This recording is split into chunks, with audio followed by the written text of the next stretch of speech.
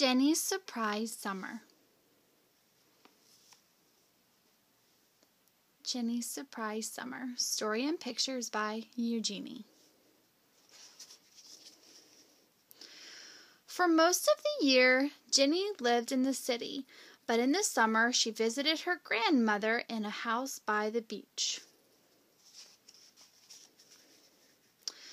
Summer was the best time of all. It was a time for bare feet and seashells and swimming with the gulls. One day when the tide was very low, Jenny was gathering mussels for a stew. She didn't notice that the sky was getting darker and darker. Suddenly a thunderstorm raced across the bay. Waves pounded the beach. The wind howled and the rain felt like icy needles. Jenny ran to hide in her secret cave. On sunny days the cave was a wonderful place to play. Today it was cold and dark and frightening. Jenny huddled close to the wall, trembling. All at once she heard hissing and growling behind her. She turned. Four green eyes were gleaming in the dark. Jenny started to back away. Then the hissing and growling turned into mewing. Jenny discovered that the gleaming green eyes belonged to two tiny kittens. They looked just as frightened and cold as Jenny.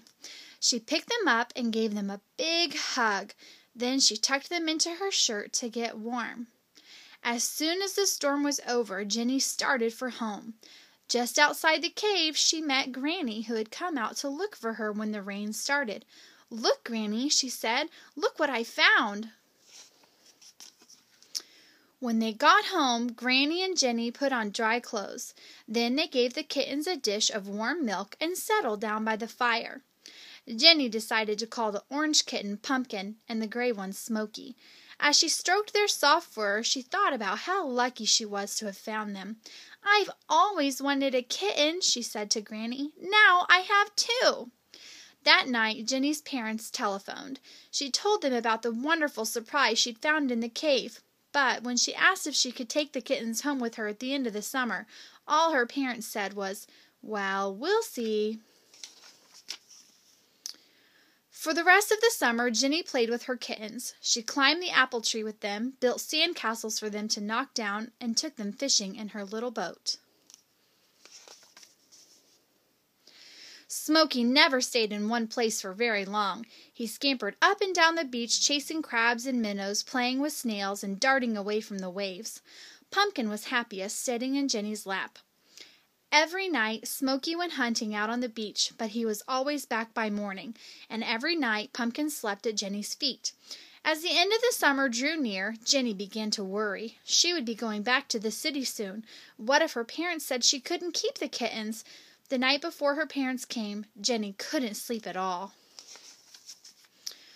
The next day Jenny was glad to see her mom and dad, but when she asked about the kittens her parents said two kittens would be too much trouble in an apartment.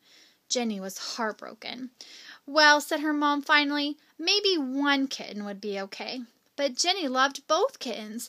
How could she decide which one to take? Jenny took the kittens up to the attic and sat down on Granny's old steamer trunk. Pumpkin curled up in her lap and purred. Smoky chased balls of yarn and pounced at shadows. Jenny scratched Pumpkin's back and watched Smoky play.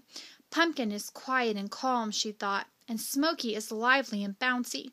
Pumpkin likes to snuggle up at home, and Smoky likes to hunt and romp on the beach. All at once Jenny knew the answer. Jenny went downstairs. I know which kitten to keep, she told her parents. She picked up Smoky and held him tight.